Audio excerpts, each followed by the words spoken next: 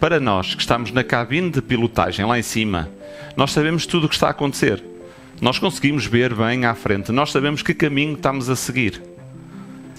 Mas a equipa que está na casa das máquinas, é? que está a fazer a manutenção, que está a servir o cafezinho ao cliente, que está a arrumar as camas, que está a fazer tudo isso dentro do nosso navio, não sabe exatamente o que é que está a acontecer. Nós temos que comunicar de forma contínua é? para que as pessoas então saibam a todo momento o que é que está a acontecer. E há dois níveis de comunicação. É?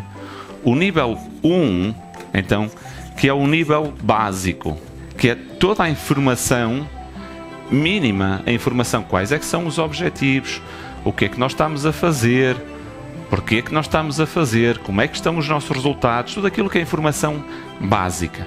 Isto tem que existir. Mas nós, a nível de alta performance, nós precisamos também de, de comunicar, e esta é crucial, a informação inspiracional.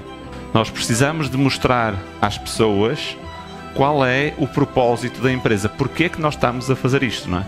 O sentido de pertença, a visão. Por exemplo, quando entrou agora o Covid, é? quando foi o primeiro confinamento, das nossas empresas no grupo, houve uma empresa que era a que corria mais riscos. Sabem como é que se chama essa empresa? Allcan.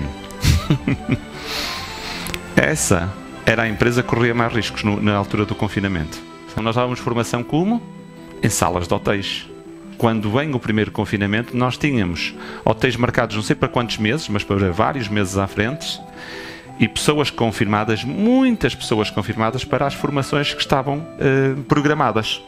Então nós, ok, vamos parar. Acabou as situações presenciais, depois vamos ver. Fizemos o nosso aniversário em novembro. O, o Luís pediu para as pessoas dizerem alguma coisa do que é que este tinha marcado no último ano da empresa.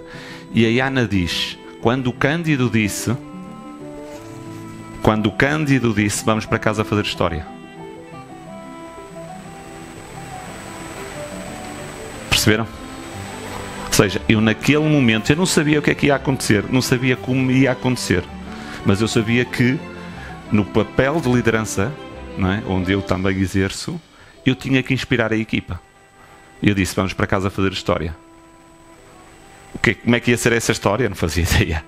Mas percebem, este é o papel da liderança